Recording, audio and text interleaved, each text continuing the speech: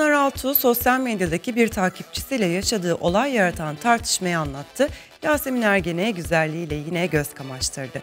Ajda Pekkan'dan Zara'ya, Hande Yener'den Halil Sezai pek çok ünlü ismin verdikleri konserlerle kulakların pasını sildi. Şimdi jet hızıyla keyifli bir haber turuna çıkıyoruz. Deli bile deli bile veriyor senden daha iyi kararlar Ünlü oyuncu Ayşe Tolga kırık ayakla nasıl saatlerce dolaştı, ayağının kırıldığını neden anlamadı. Orada ekip dedi ki bana bu seninki e, kırık bence. Pınar Altuğ sosyal medyada bir patladı, bir patladı. Ünlü oyuncu neden isyan bayrağını çekti? Sen rezilsin. Bak ne kadar rezil olduğunu da insanlar da sana anlatsın. Halil Sezai'yi hiç böyle görmediniz. Ünlü şarkıcı sahnede nasıl aşka geldi?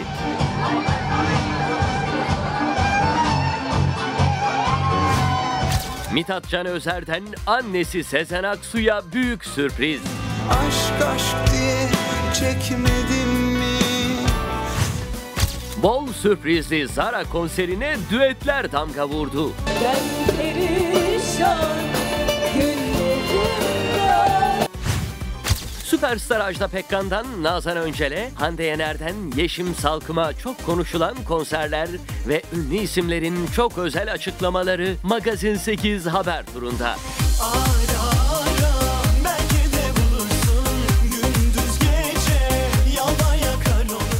Etiler'de bir alışveriş merkezinde rastlıyoruz Ayşe Tolga'ya. Kırık ayak bile evde tutmaya yetmemiş ünlü oyuncuyu. Yarı tekerlekli sandalye, yarı koltuk değneğiyle oradan oraya koşuşturuyor. Tarak kemiğim de kırık çıktı. Ayşe Tolga ayağının kırıldığını bile fark etmemiş. Üstelik bir gün boyunca kırık ayakla gezmiş. Burkuldu zannettim ama sonra e, spor hocalarımız var biliyorsun 8 haftada değişim programı var. Ertesi gün ben bildiğin 8 haftada değişimin de 3. dönemi başlamıştı. E, seçmelere gittim. E, görüşmeler vardı çünkü. Orada ekip dedi ki bana bu seninki e, kırık bence. Hastaneye götürdüler sağ olsun. Koltuk değnekleriyle yürümek zor olduğundan tekerlekli sandalye kullanıyor Ayşe Tolga. İstanbul Maratonu'nda 15 kilometre tekerlekli sandalye itiyordum.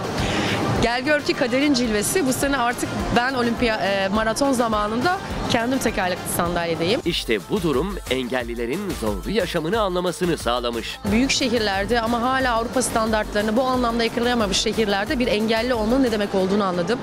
Gerçekten çok zor. Nişantaşı sokaklarına çeviriyoruz kameralarımızı. Beyaz elbisesiyle yaz havasını devam ettiriyor ünlü oyuncu. Daha kışı getiremedim ben. Kış güzelliği mi Pınar Hanım? Aa, Hayırdır? teşekkür ederim. Çok mersi. Bilmem. Geçtiğimiz günlerde Pınar Altuğ eşi Yağmur Atacan'la birlikte çektirdikleri bir fotoğrafı Instagram'da paylaşmış. Aralarındaki yaş farkına dair haddi aşan yorumlarda bulunan bir takipçisine ateş püskürmüştü ünlü oyuncu. Ya o hep olan bir şeydi ona patladı. Hani sadece hani görmüyorum umurumda değil. Olayın üstünden yaklaşık bir hafta geçti. Ama Pınar Altuğ'un öfkesi hala dinmemişti. Eşi Yağmur Atacan'la aralarındaki 8 yaş farkı diline dolayanlara söyleyecekleri vardı. Küfür yemeyi hatta bela işitmeyi seviyorlar. Ben bunu anladım. Çok yazık. Kalpler çok kirli. Annesi usta sanatçı Sezen Aksu'nun izinden yürüyerek müziğe atılan Mithat Can Özer ilk albümünü piyasaya sürdü. Sıra senin hadi üz beni Yaza koyar mı güz beni Geceleri gündüzleri Aşk aşk diye çekmedim mi? Aşk Mevsimi ismi verilen albümde Sezen Aksu da oğlu Mithat Can Özer'i yalnız bırakmayarak pek çok şarkının sözünü ve müziğini yazdı. Ama Mithat Can Özer'in de annesine bir sürprizi vardı. Giden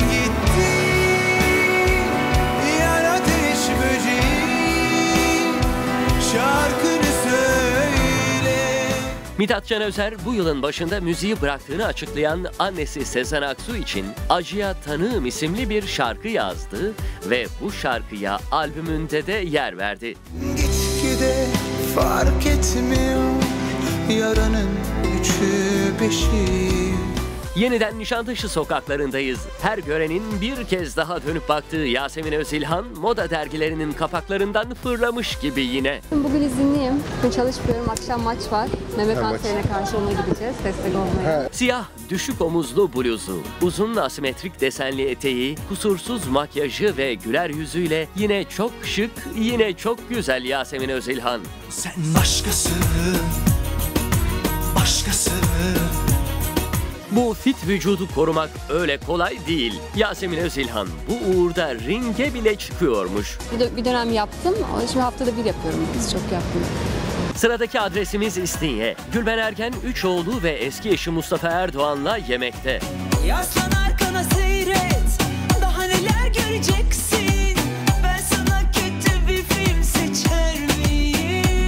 Anlaşılan günün hakimi Gülben Ergen'in oğulları. Aile yemeğinden sonra soluğu oyuncakçıda alıyorlar. Ama Gülben Ergen çocuklarından daha ilgili sanki oyuncaklarla.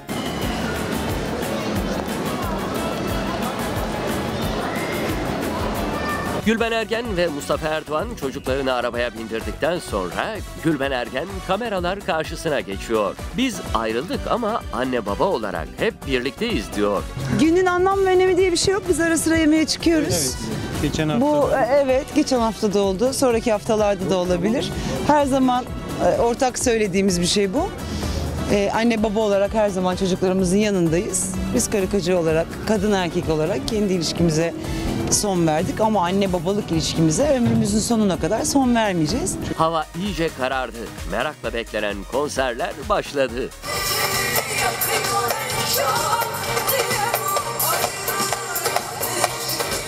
Havai fişekler eşliğinde sahneye çıkan süperstar Ajda Pekkan, gri simli takımı, göz kamaştıran mücevherleri ve postişle uzattığı saçlarıyla göz kamaştırdı yine.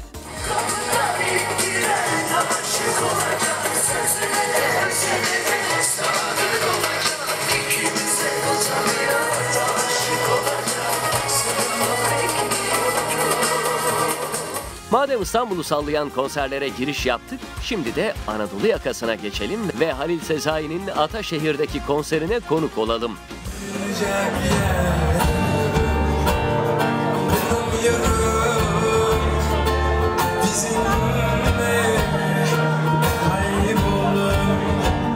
Halil Sezai'nin keyfi pek yerindeydi. Bu kez isyan etmedi, bir hayranını sahneye çağırıp dans etti.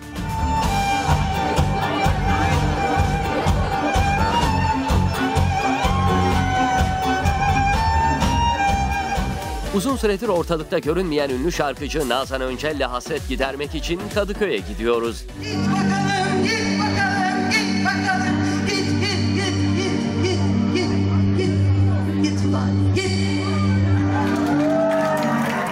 Siyah dizüstü bir elbise giymişti Nazan Öncel. Yüzünde bir gram bile makyaj yoktu. En sade haliyle çıktı seyirci karşısına. Nazancığım çok hoş olmuşsun, şahane görünüyorsun. Ense tıraşına da bayıldım. Evet yanlış duymadınız. Suret Nazan Öncel'e ait olsa da ses sanki Sezen Aksu'nun. Ünlü şarkıcı Nazan Öncel sahneye Sezen Aksu taklidiyle çıktı. Kadıköy'de yer yerinden oynadı. Şahanesin ama şu sıfır makyajı bana bir anlatır mısın canım rica etsem? Biz de öğrenelim istiyorum. Aa, elbette Sezen'cim. Sezen de ense tıraşımı beğendi ya şahane artık mutluyuz hepimiz. Biraz güneye doğru inelim mi? Alanya'dayız. Yeşim Salkım sahnede.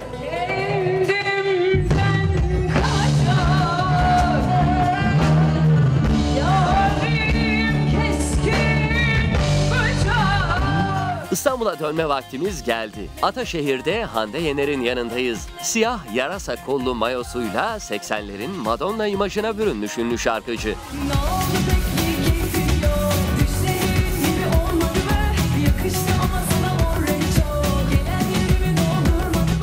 Oyuncu Ümit Cem Şenol'la yeni bir aşka yelken açan Hande Yener'in keyfi yerinde. Ağzı mutluluktan kulaklarında. Özel yaşamımla ilgili çok fazla açıklama yapmıyorum ama her şey güzel gidiyor. Fotoğraflarda gördüğünüz gibi. Daha ilişkileri çok yeni ama Ümit Cem Şenol çoktan tek taşını alıp Hande Yener'in kapısına gitmiş. Ünlü şarkıcıysa tek taşı parmağına takacağına yanağına yapıştırmış. Tek taş yanağa takılıyor haberiniz olsun. evet sembolik Cem'in şeyi bu.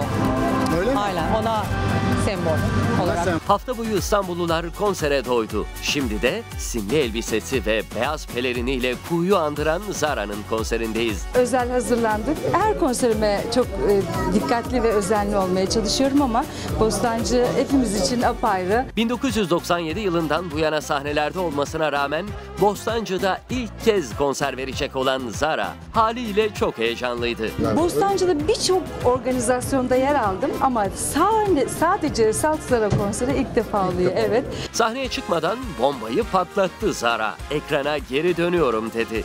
Evet evet dizi. Dizi de geliyor. Ya her her koldan, her yerden, dört koldan geliyoruz evet. Zara son hazırlıklarını tamamlamak üzere kulise çekilirken usta sanatçı Cengiz Kurtoğlu geliyor yanımıza. Elindeki tesbih dikkatimizi çekiyor hemen. Baş harflerini yazmışlar. C- e, şey James Curtis olarak. James Curtis. Konsere dair biraz tüyo alabilir miyiz sizden? Onu hem izlemeye geldik. Bu akşam da bir sürprizimiz olacak. Sahne beraber Sahnede e, bir şarkımızı, benim eski okuduğum bir şarkıyı birlikte e, seslendireceğiz. Emel Müftüoğlu hasta yatağından kalkıp gelmiş Zara'yı dinlemek için. konser kaçırılmayacak bir konserdi benim için. Ve ben çok hastayım şu anda ama yani geldim seyredeceğim. Emel Müftüoğlu gibi binlerce kişinin merakla beklediği konser başlıyor. Seni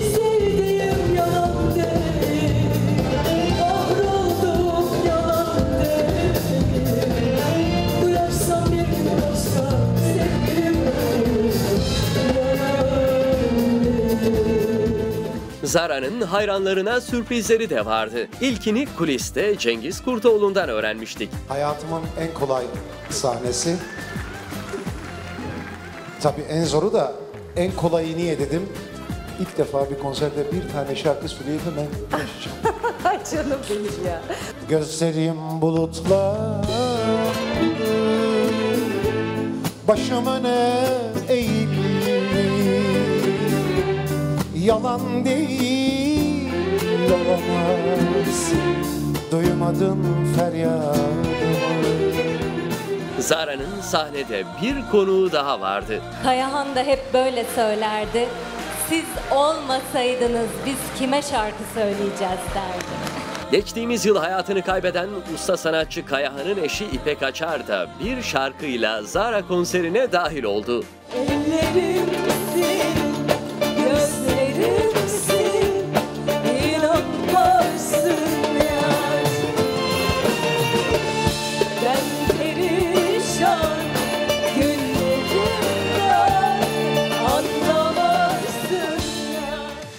Müzik dünyasına herkesin diline dolanan bir şarkıyla genç bir yetenek daha dahil oldu.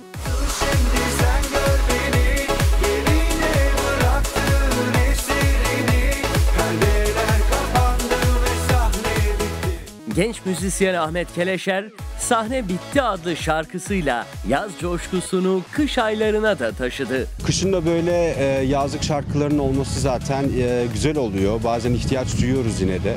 Ondan sonra bu yüzden bence iyi oldu yani şimdi. Her işte bir hayır var derler ya o yüzden yani şimdi çıktığı için daha mutluyum aslında.